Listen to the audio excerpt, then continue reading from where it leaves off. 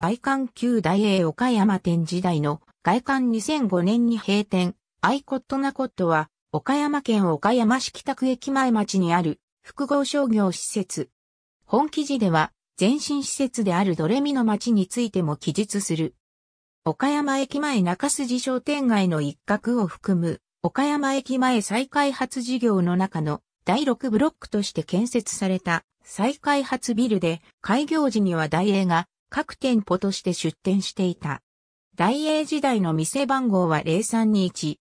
規模は地上7階、地下2階で敷地面積4371平方メートル、建築面積3966平方メートル、延べ床面積33059平方メートルである。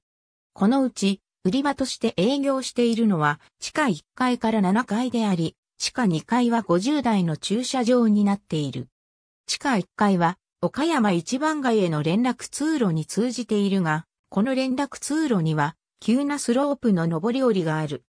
2005年11月30日に大英岡山店が撤退し、その行く末が危ぶまれたが、2006年3月に天満屋ストアなどが出店して新装開店した。その際には6階にクリニックモールも開設された。また、2008年にビルの所有権の大半をエディオンが取得したが、2015年3月31日付で、今度は、成道グループに売却された。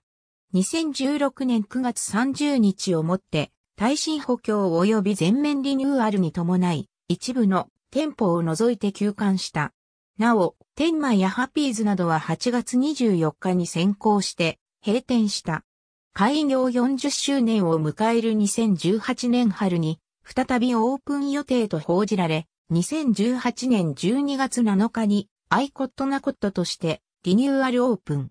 地下1階の一番街連絡通路を使用すれば、雨の日でも濡れずにに地下経由で行くことができる。